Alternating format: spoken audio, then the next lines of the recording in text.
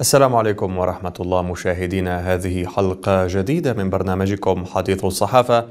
نبدأها من وكالة أنباء الأناضول التي نشرت مقالا لأنصار بالجي بعنوان تركيا الملاذ الآمن للمضطهدين عبر العصور حيث يشير الكاتب إلى أن الدولة العثمانية كانت عبر مختلف العصور والحقب التاريخية. ملاذا آمنا للشعوب التي أجبرت على ترك أوطانها بسبب تعرضها للقمع والاضطهاد. ففي عام 1492 استقبلت الدولة العثمانية اليهود الهاربين من الفظائع التي شهدتها إسبانيا آنذاك. وأصدر السلطان بايزيد الثاني بن محمد الفاتح فرمانا أبرز ما جاء فيه. على الجميع استقبال اللاجئين بكل رحابة صدر. وعلى كل شخص يصدر عنه سلوك مخالف لهذا الأمر أن يعلم بأن عقابه سيكون الموت كما رفض السلطان عبد المجيد الأول تسليم اللاجئين المجر والبولنديين إلى روسيا والنمسا والذي قال إن تسليم تاجي وملكي لأهون علي من أن أسلم شخصا واحدا احتمى ببلدي.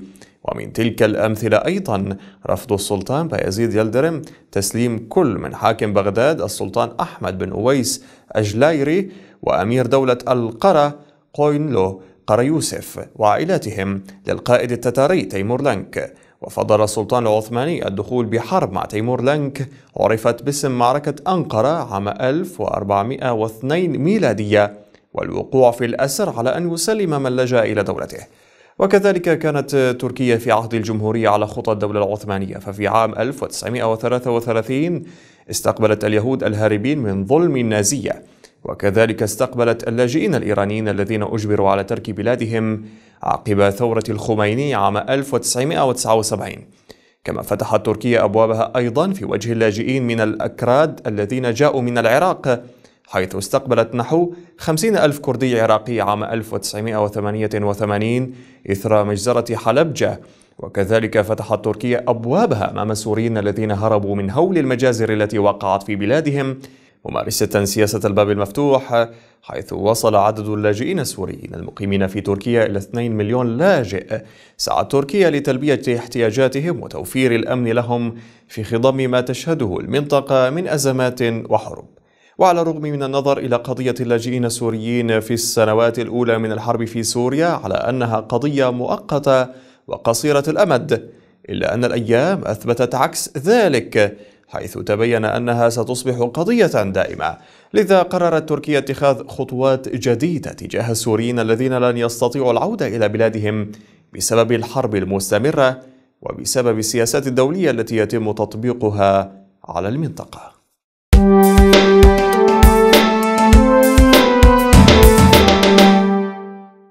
جريدة حبر نشرت مقالا لإسماعيل المطير بعنوان تجارة اللجوء حيث يرى الكاتب بأنه من المؤسف حقا رؤية الحال التي وصل إليها الشعب السوري بعد كل ما جرى له من القتل والجوع والمرض والفقر. ثم النزوح إلى دول الجوار مما زاد الطين بلة في الواقع هو تحول اللاجئين في دول الجوار إلى مجرد وسيلة للتسول باسمهم والمتاجرة بلقمتهم. المؤتمر الدولي الثالث للمانحين الذي أقيم مؤخرا أسفر عن تقديم مبلغ قدره 3.8 مليار دولار. من المفروض أن تصرف لتخفيف الأزمة الإنسانية في سوريا. ويتساءل الكاتب كيف سيتم إنفاق ذلك المبلغ في الوضع الراهن سيوزع المبلغ المذكور بغالبيته على دول الجوار التي تستضيف اللاجئين وربما يتم تسليم جزء منه لمنظمات رسمية سورية كالهلال الأحمر. وبالتالي سيستفيد النظام من تلك المساعدات بحجة توزيعها على المشردين الذين شردهم الإرهاب على حد زعمه. الأمر ذاته الأمر ذاته سيحدث في دول الجوار الشقيقة حيث من المتوقع أن تنفق المبالغ الممنوحة أو أن تنفق المبالغ الممنوحة على أمور لا تمس اللاجئين السوريين من قريب أو بعيد بحجة تعويض الخسائر الاقتصادية التي نتجت عن استضافة اللاجئين.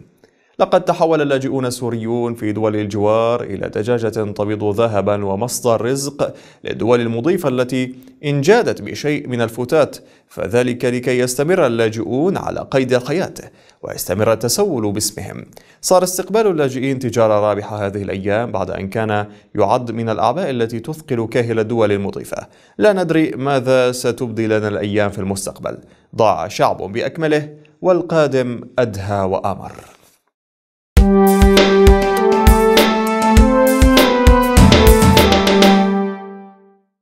صحيفة أكشم نشرت تحت عنوان منح سمة الدخول الشينجين للاجئين حيث تشير الصحيفة على أنه بعد عدم التفاهم على كيفية تسديد ديونها الاقتصادية للاتحاد الأوروبي وقع المحظور في تحقيق أثينا لتهديدها بفتح حدودها الأوروبية بوجه اللاجئين الموجودين فيها. وقامت حكومة جبراس في أثينا بتنفيذ وعيدها هذا من خلال نصها لمشروع قانون يجيز للاجئين السوريين الموجودين في أراضيها الحصول على فيزا شينجين التي تمنح حق السفر إلى دول الاتحاد الأوروبي. حول الموضوع ذكر الناطق باسم الحكومة اليونانية قبل يومين أنهم سيمنحون كافة السوريين المتواجدين في اليونان فيزا الشينجين ليتمكنوا بها من التجول داخل الأراضي الأوروبية دون قيد أو شرط بعد حصولهم على تقرير صحي يبين خلوهم من الأمراض المعدية الجدير بالذكر أن وزير الدفاع اليوناني بانوس كامينوس كان قد هدد في وقت سابق بفتح أبواب الاتحاد الأوروبي أمام اللاجئين المتواجدين في اليونان ما لم يتم التوصل إلى حلول تساعد اليونان على تخطي أزمتها المالية الخانقة.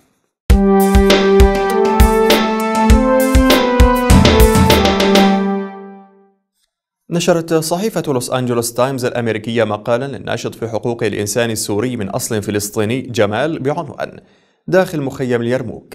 الدولة الإسلامية تفاقم البؤس الفلسطيني حيث تحدث فيه الكاتب عن المعاناة التي يعيشها من تبقى من لاجئين فلسطينيين في مخيم اليرموك قرب العاصمة السورية دمشق. وأشارت الصحيفة إلى أنها لم تنشر اسم الكاتب بشكل كامل خشية على أمنه وحياته حيث إنه فر من مخيم اليرموك بعد سيطرة تنظيم الدولة الإسلامية عليه.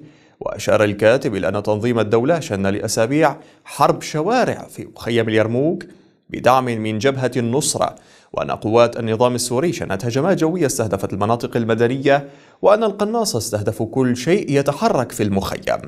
مضيفا أن قوات النظام السوري أسقطت حوالي 50 برميلا متفجرا على المنازل في مخيم اليرموك للاجئين الفلسطينيين الشهر الجاري وأن برميلين منها استهدفا مستشفى فلسطينيا. ولفت الكاتب إلى أن الأنباء التي تحدثت عن مغادرة مقاتلي تنظيم الدولة مخيم اليرموك تعد غير دقيقة وأن تنظيم الدولة أعاد انتشار وتوزيع قواته في المخيم. وأن قوات جبهة النصرة لا تزال هناك وأن وضع سكان المخيم وضع مؤلم. ونوه إلى أن النظام السوري أعلن مخيم اليرموك منطقة حرب وأنه يقصف منازل الفلسطينيين بشكل ممنهج ويمنع شحنات المساعدات الطبية والغذائية من الوصول إليه في ظل انقطاع الماء عن المخيم منذ أيلول الماضي. ودعا الكاتب المجتمع الدولي إلى تحمل مسؤولياته والقيام بنقل باقي الفلسطينيين من مخيم اليرموك. إلى مكان أكثر أمنا.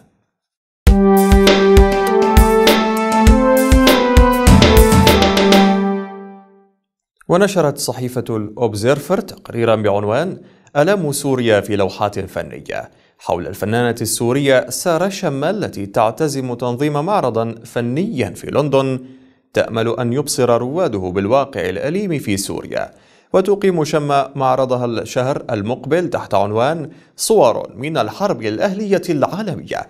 وذلك في إشارة إلى أن الصراع الذي يمزق وطنها له تداعيات لا تقتصر على منطقة الشرق الأوسط بل تصل إلى أوروبا وفقا لما جاء في التقرير. وقالت شمة للأوبزيرفر إنها لا تسعى في لوحاتها إلى انتقاد مجموعة بعينها لأنها لا تحب الوضع الحالي برمته. إذ أضحت هناك دولة أخرى الآن. وبحسب الصحيفة فقد تركت الفنانة سوريا منزلها في دمشق عام 2012 بعد انفجار سيارة مفخخة قرب المنزل. وفي صحيفة الشرق الأوسط نقرأ أيضا مقالا لطارق الحميد بعنوان إيران سوريا هي الأحق. أشار فيه إلى أن النظام الإيراني قد قدم للأمم المتحدة خطة من أربع نقاط بشأن اليمن تستهدف وقفا فوريا لإطلاق النار وانهاء للهجمات العسكرية الأجنبية وتقديم المساعدات الإنسانية واستئناف حوار وطني واسع مع تشكيل حكومة وحدة وطنية شاملة. ورأى أن الأحق بهذه الخطة الإيرانية هي سوريا وليس اليمن. ولفت الحميد إلى أن الأمر مختلف عن اليمن في سوريا التي قام النظام فيها بقتل قرابة الربع مليون سوري وبعد ثورة سلمية لم يرفع فيها السوريون السلاح إلا بعد أن بطش بهم نظام الأسد الإجرامي وبدعم من إيران التي هبت لنجدة مجرم قاتل. منوها إلى أن إيران تتدخل في سوريا إنقاذا لنظام طائفي إجرامي وليس له حدود مع إيران. بينما نجد أن السعودية تتدخل في اليمن إنقاذا للشرعية وبدعوة من هادي الذي انقلب عليه الحوثيون وصالح بقوة السلاح. وباتوا يستبيحون المدن اليمنية الواحدة تلو الأخرى. وشدد الحميد على أن الأحق والألزم هو أن تقدم المبادرة الإيرانية لسوريا وليس اليمن. وذلك حقنا للدماء مع ضمان رحيل المجرم بشار الأسد. مثلما أخرجت السعودية من قبل صالح الذي ثار ضد اليمنيون الذي ثار ضده اليمنيون مبينا أن الرئيس اليمني الشرعي هادي والذي تدعي إيران والشبيح حسن نصر الله أن لا مستقبل له بحكم اليمن لم يقم بقتل شعبه ولم يستدعي قوة طائفية ولا ميليشيات إرهابية لليمن كما يفعل المجرم بشار الأسد.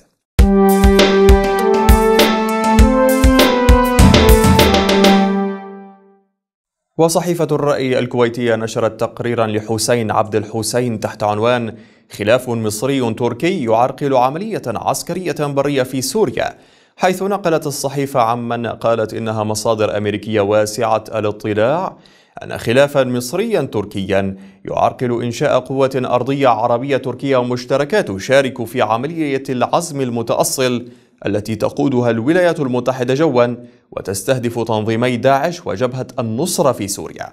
وذكرت المصادر للرأي أن هذا الخلاف ما زال هو نفسه منذ اليوم الأول للحرب الدولية ضد داعش إذ تشترط أنقرة لفتح أراضيها لأي عملية برية لاكتساح الأراضي التي يسيطر عليها ثوار شمال وشمال شرق سوريا.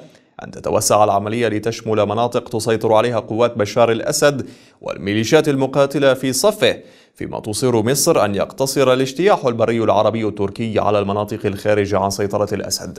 وقالت الصحيفة إن واشنطن التي تميل إلى الخيار المصري ترى أنه يمكن للمعارضة السورية الدخول إلى المناطق المحررة وإقامة حكومة هناك وإنشاء قوة أمنية. ويمكن بعد ذلك إجراء مفاوضات مع نظام الأسد لرحيله ودمج الحكومتين.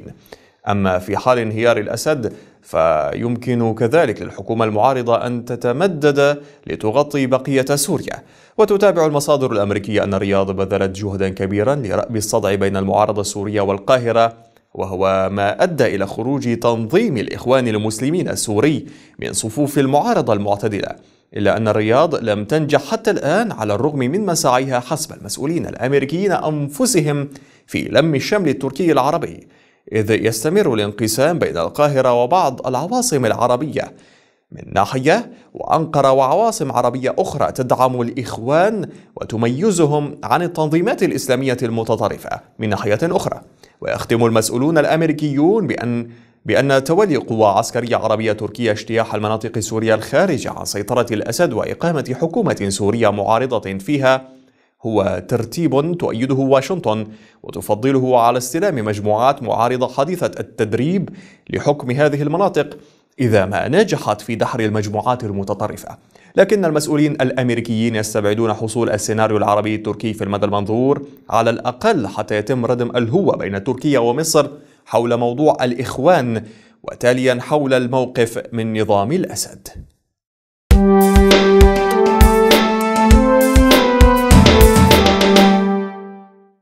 صحيفة العرب القطرية نشرت مقالا لأحمد حسن الشرقاوي تحت عنوان اتفاق دايتون السوري وإعادة ترتيب البيت العربي.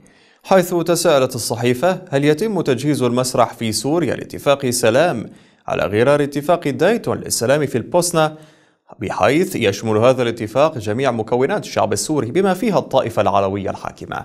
ويتم تقديم بشار الأسد ورموز نظامه إلى محكمة جرائم الحرب الدولية كمجرمي حرب. وأوضحت الصحيفة أن المتابعة الدقيقة لعملية صنع الترتيبات الإقليمية والدولية في مطابخ السياسة في الغرب تشير إلى وجود مؤشرات لهذا الاتجاه. يتم تمهيد له من خلال اتفاق خليجي تركي يسعى للعمل على إسقاط نظام بشار الأسد من خلال تدخل عسكري وتقديم بشار وعصابته لمحكمة جرائم الحرب.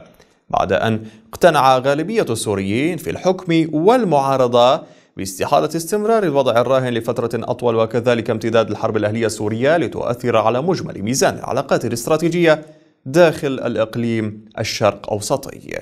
بهذا المقال مشاهدينا. نكون قد وصلنا لنهاية الحلقة لهذا اليوم. نشكركم دائما على حسن المتابعة ونترككم برعاية الله. السلام عليكم ورحمة الله.